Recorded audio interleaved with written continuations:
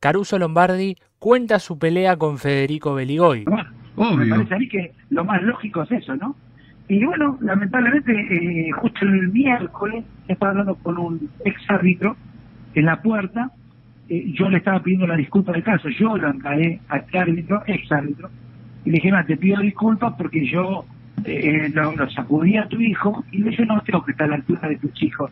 Porque ustedes sufren como padre como sufro yo con mis hijos, ¿no? Entonces, mira, o sea, me aceptó la disculpa y se Ricardo, la te agradezco que me haya venido a hablar así lo mismo que me pasó con Tapia, con Iván. Iván el sábado pasado, yo lo fui a saludar y le dije, Iván, yo con vos no aunque no me gustó lo que dijiste por televisión, yo no te puedo contestar. Digo, yo la verdad, vos sos un pibe, sos joven, sos jugador, me, aceptó la disculpa, se puso contento Iván, que lo quería saludar. Bien. Dije, Iván, el problema que yo tengo con tu papá, que nunca supe el problema del, padre conmigo cuál fue, digo, pero yo te, te, pido mis disculpas que me metí con vos metiendo todo en no conté ni hasta 10, hasta 5 conté, y te lo respondí porque yo, no me gustó como hablaste ese día, y, pero no me tengo que meter como vos un pibe, y yo te llevo 40 años, ¿no? El día que ascendió Barraca fue eso, me acuerdo, sí. Tal cual, tal cual, tal cual. Entonces le pedí la disculpa del caso a Iván Tapia, pero esto fue el sábado pasado. Mm. Ahora le pido disculpas también al hijo de este juez, porque bueno, yo lo machaqué porque se equivocó, mejor sí, la verdad se equivocó en una, qué sé yo, esposa, yo estaba,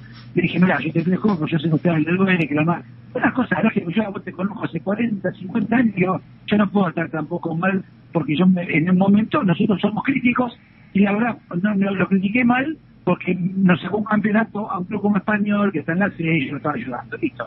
Y quiero, cuando él viene de atrás, una voz, y me dice, vos te juntás con cualquiera, ¿eh? Vos te juntás con cualquiera, ¿eh? pero mal, ¿eh? Mal, le dice. En la puerta del hotel, y yo me de vuelta. Y era él, digo, mira, justo estaba hablando de vos. Porque yo estaba diciendo, digo, a mí me parece que él no está así, ¿eh? Como este cuento, que él estaba hablando, digo, mira, justo estaba hablando de vos. Ah, sí, a mí no me tenía que hablar y él me contesta mal. ¿Viste? Entonces yo lo miro, digo, voy a escuchar, yo te estoy hablando bien, digo, ¿querés hablar a sola? Pero bien, ¿eh? Yo bien, mm. estoy bien. ¿Querés hablar a sola? Ven y vamos a hablar a sola. Entonces se me arrima y me tira para el bocadillo que no me gustó. ¿Viste? Ah. Entonces, cuando me tira el bocadillo ese, digo, mira, me estás hablando así con toda la gente en la puerta. Le digo, vení, vamos al costado.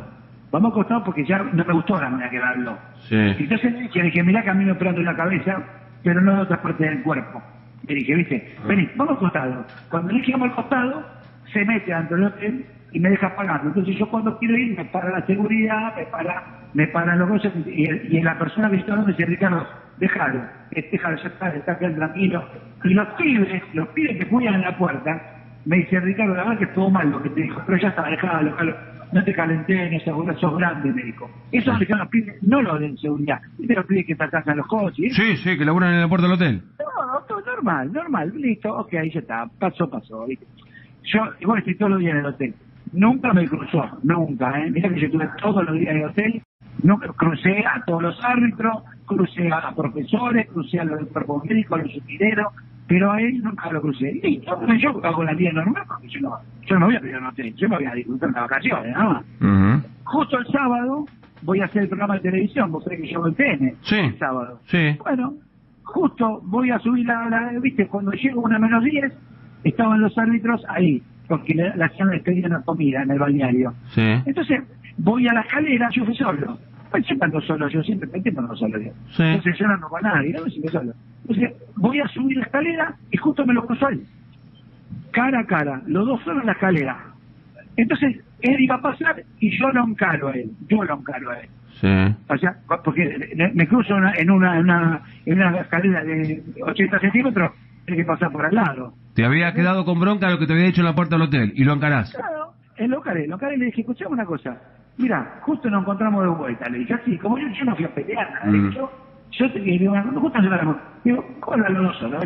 ¿Cómo los solos? Pero bien, no, no, no, no, una cosa que yo te diga, escuchar, insulto, algo. Nada, no para pelear, sino para hablar.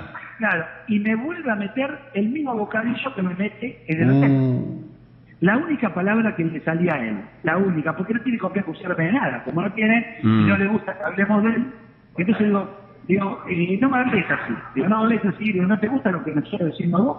Nosotros somos críticos. Digo, nada más, de las cosas malas. Y me, sigue diciendo lo mismo. Entonces me dice, mejor que no estemos solas. Ah, sí, tal cual. Cuando me dijo así, ya bueno, ya me, me la cabeza le dije lo que le tenía que decir al oído, eh, medio que se bajó, eh, nos viene a separar, yo le dije otra cosa más, pero sin insultar, ¿eh? Sin insultar, y, y le dije algo que le ponía un poquito la cabeza, algo que yo sé, que no lo había decir al aire, y se movió la cabeza, cuando se la cabeza quedó bueno, dando vuelta como un topollillo, cuando le dije eso. Entonces, cuando le dije eso, él se va para abajo, ¿viste? Me dijo, "Ve- no, no, no se paran casi, porque yo tengo la verdad. Si yo hubiera actuado en caliente y le faltaría el respeto al balneario, la gente que conozco hace muchísimos años y, y el dueño del balneario es, un papá para mí. ¿Entendés? Entonces, yo no puedo faltar respeto. Claro, crack. no puedo faltar respeto. Entonces, eh, agarré directamente, subí un poquito, hablé con los hijos de él, que los hijos de él venían a hablar, no sabían qué había pasado, me encargaron a mí y digo, no, mira, así fue, yo estaba subiendo, me hizo lo mismo que en el hotel, y después se van, digo, me hizo lo mismo en el hotel, y se acerca un referí a hablar conmigo, viste, dice, ah, Ricardo, te joder, pero se me dijo ese referí, no habla, usted habla mucha boludeces, nosotros hablamos boludeces, que usted está diciendo, y yo lo escuché recién que dijo que los periodistas él no puede hablar con los periodistas porque no les puede explicar el bar a todos porque ustedes, porque nosotros no entendemos. ¿Cómo Mm. me decís que nosotros no entendemos? Y digo, ¿y, y qué, cuáles son las boludeces que nosotros hablamos? Y no me contesta. A ver, decime cuáles son las mentiras de las cosas que pasan, de lo, lo que está pasando en todas las categorías, lo- cómo dirigen ustedes. Y pero nosotros tenemos familia, tenemos hermanos, tenemos tenemos eh, familiares, hijos. ¿Y vos crees que nosotros no tenemos familia? Y los técnicos, y los jugadores, y, lo, y la gente que trabaja de esto, no sufren como sufrimos porque las cosas que hacen ustedes. Claro. Y ahí se calla la boca. Ahí se me cayó la boca. Mm. Dijo, no, no, en eso tenía razón. Y bueno, entonces, no te enojes si somos críticos. Ahora, te hago esta pregunta. Y adelante del dueño del balneario se lo dije. Mm. Digo, te hago esta pregunta. ¿En qué mentimos nosotros? En la televisión, en la radio. Porque si hay alguna mentira, yo me hago cargo. Y me miró y no me contestó. Digo, ¿viste que no me puede contestar? Porque no mentimos. Y me dice, y bueno, pero nosotros me dio a entender como que tienen que hacerle caso. ¿Está bien? Entonces, Mm. no vengas a copar la parada, le dije. Bien. Podés contestarme, no vengas a comprar la parada. Y ahí se quedó duro. No me dijo más. Dice, bueno, pero vos tú del otro lado. Y también pedí árbitros. Sí que pedí árbitros. Pero nunca hice los desastres que hicieron ustedes. Y ahí se quedó callado, se dio vuelta y se fue. O sea que no, no estaba tan desacertado yo. O sea que te encontraste en un momento en la escalera con él, le dijiste algo que, que, que lo movió, él te había dicho algo no, que... no, no, no, no. Lo, lo que lo movió fue a lo último, Mm. en la segunda pelea, pero él, las dos veces que yo quise hablar con él, me atacaba siempre con la misma palabra, porque no le salía otra cosa. Es como si Pero fue una pelea verbal, no fue física. No, física no. No, Bueno. no, no, no fue verbal. Y después cuando, lo que sí, yo le dije unas cuantas cosas, cuando él me dijo, otra vez, viste como vos te digan tarado, tarado, tarado, tarado, la única palabra que te sale, Sí. ¿Entendés? A él le salió una palabra sola conmigo. Le digo, no sabes qué hablar. Digo, si estás hablando así, estás tartamudeando, no sabes qué hablar. Digo, ¿por qué no te sientas a hablar conmigo un poquito? Y te digo unas cuantas, y no, viste, ahí ya eh, seguía, seguía, seguía. Y después cuando vio que yo me calenté mal, las dos veces se me fue. Las dos veces que yo me calenté ya mal, porque uno, uno es humano también. Claro, obvio, obvio. que se ve que le molesta que le digamos muchas verdades. Y Bueno, me dijo unas palabras que no correspondían. Y cuando me dijo, oh, cosa, lo agarré aparte, le dije, vení que quiero hablar a solas con vos. Me dijo, no te va a convenir. Y cuando me dijo así, lo invité a un costado y le dije, me operaron de la cabeza, pero no, no- no de otros lugares. Y lo invité, se metió adentro del hotel. Quedé, quedé con bronca ese día. Perdóname, pero lo invitaste viste, a pelear, va, las pará. cosas pasan. Pará, las cosas claras. ¿Lo invitaste a pelear? pasan. ¿Lo invitaste a pelear? Ahí empezó.